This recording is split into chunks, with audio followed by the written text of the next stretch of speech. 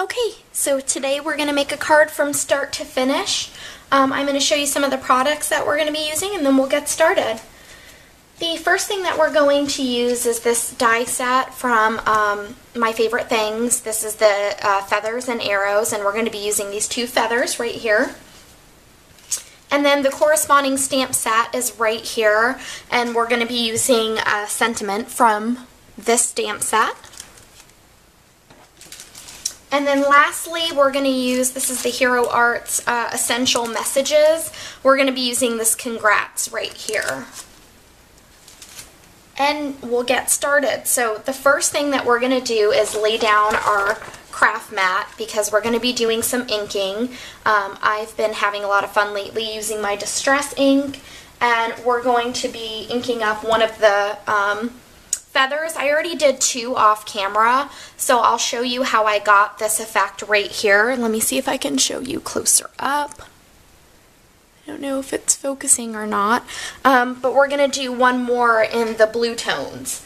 So I'm going to do that with you right now. And there's many ways you can get this effect. Um, a lot of people like to begin by taking their, their distress inks and mushing them down like this and then spraying the water. I don't prefer that effect, so I'm going to show you the way that I do it. And I'm going to start with, um, this is Peacock Feathers. I just got this one. I really like it. Um, and then I'm going to just start on the bottom of my craft mat, and I sort of just turn this around. And I cover the whole thing. Doesn't have to be perfect we're going to be going back over it with a lot of different colors. But I start with my brightest because I actually want this to have a masculine feel, so um, I like to tone it down using uh, weathered wood.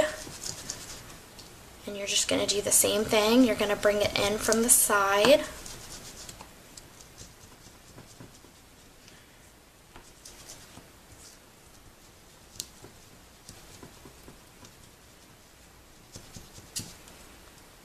And then just to add some um, definition, we're going to use Chipped Sapphire.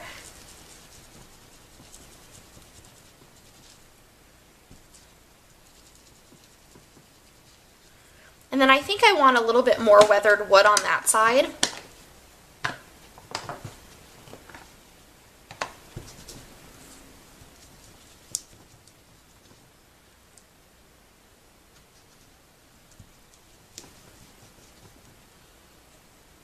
So then what I do is I take my mini mister and I mist from very high up, like this.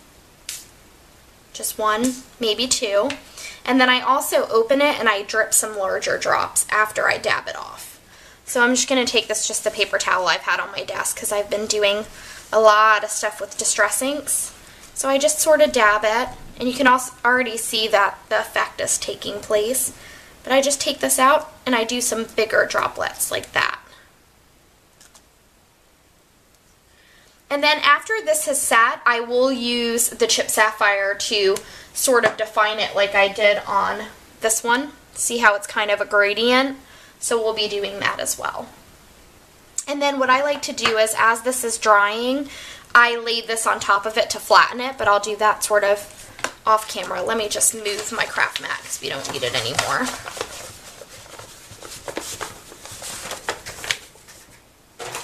Okay. And then right over here, we'll leave that just sitting there. And then we'll start working on the rest of the card. So for the outside of the card, this is uh, kraft cardstock, and I don't, this isn't from any um, scrapbooking manufacturer or card making manufacturer. This is actually uh, a long time ago when I was really in love with kraft before they started selling it in stores. Um, I would get it from a wholesale paper um, company in Wisconsin and so I like this because it's a little bit darker than your normal kraft and it's really good for the purposes of what we're going to do today.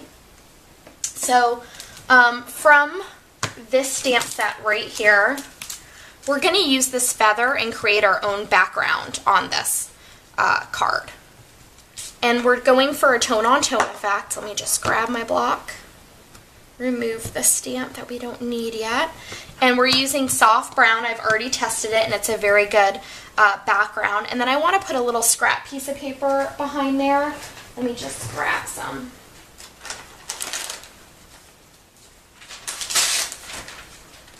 That way we can stamp off and they don't have to all be perfect on there.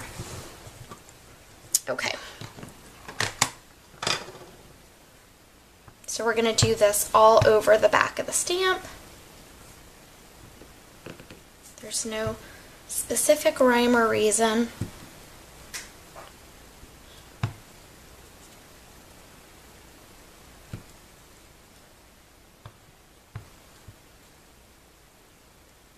Flip it this way.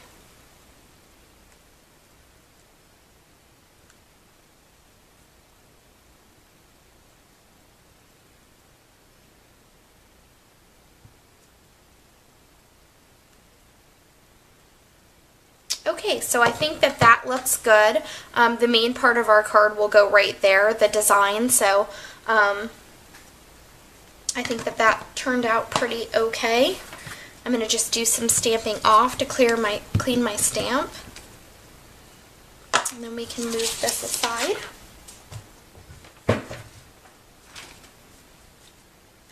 And so now I'm going to check on my feathers. Um, this one appears ready. I'm just going to use some of the um, chipped sapphire along the edge to define it better.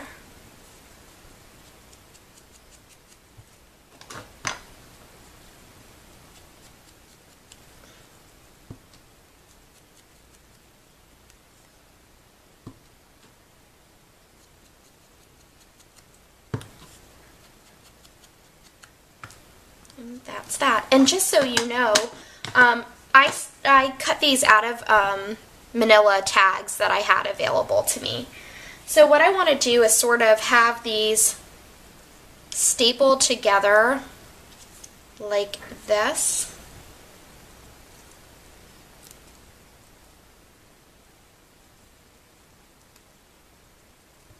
Probably just like that. Um, and I'm going to just use my tiny attacher and put one staple in it.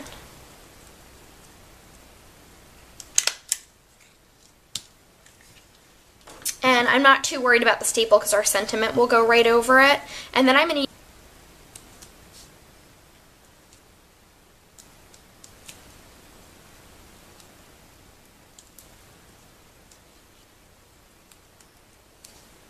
I'm going to let this go right in the center probably right about there. And now we're going to work on our sentiment. So out of that same manila envelope, I just cut a little piece here, and I want to antique this a little. So I don't want it to be too stark. So I'm going to put this down, get a little bit of antique linen distress ink. Just dirty this up a slight bit.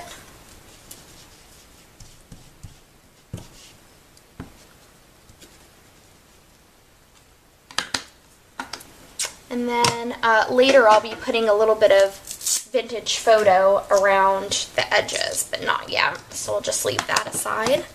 And then our sentiment is going to be let your dreams take flight. And this is going to be a card that can be used for congratulations or a graduation or something like that. And to do our sentiment, I'm going to use this Jenni Bowlin brown sugar ink.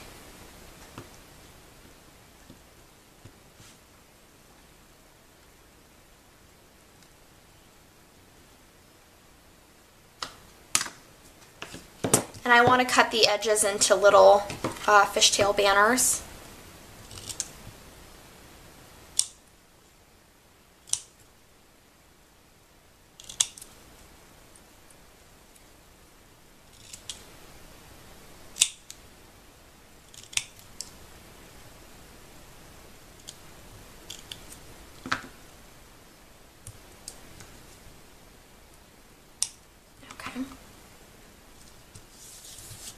And then we're going to take this vintage photo and just ink all the edges.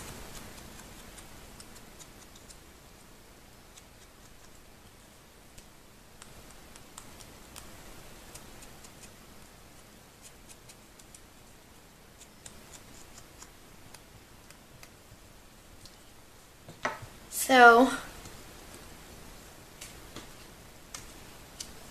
this is going to go right here, so we're just going to put dimensional adhes adhesive on either end.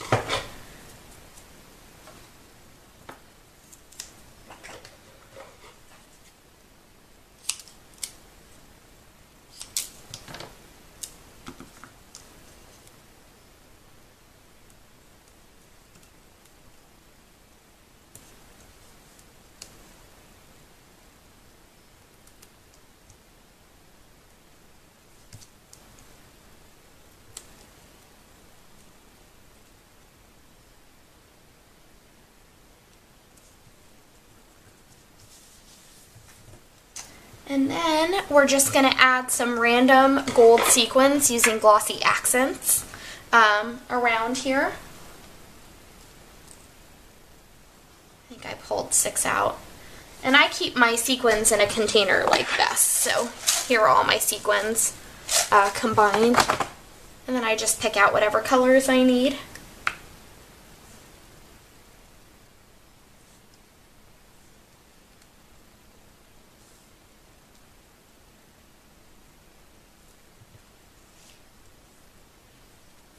Okay, so that's the front of our card. And now we're going to make our inside really simple and flat so that this is good for um, shipping or mailing, I should say. Let's move this aside again. I just have this piece of cardstock right here. It's kind of a tan color. And I'm going to use that same um, feather in the same color, soft brown Hero Arts ink. And I'm just going to do a cluster of three feathers right in the corner. Oops, that didn't stamp too good. Oh, we'll leave that one alone.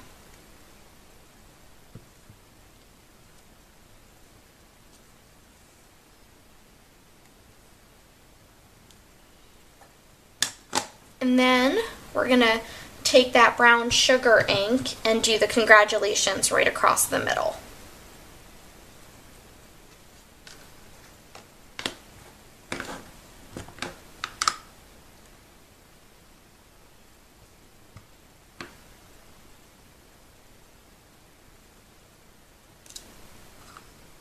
Like that.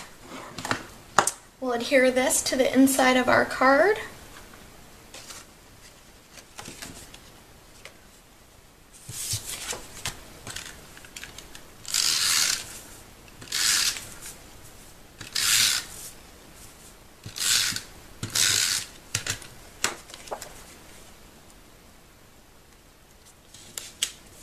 And that's the card. Hope you guys enjoyed. Thanks. Bye.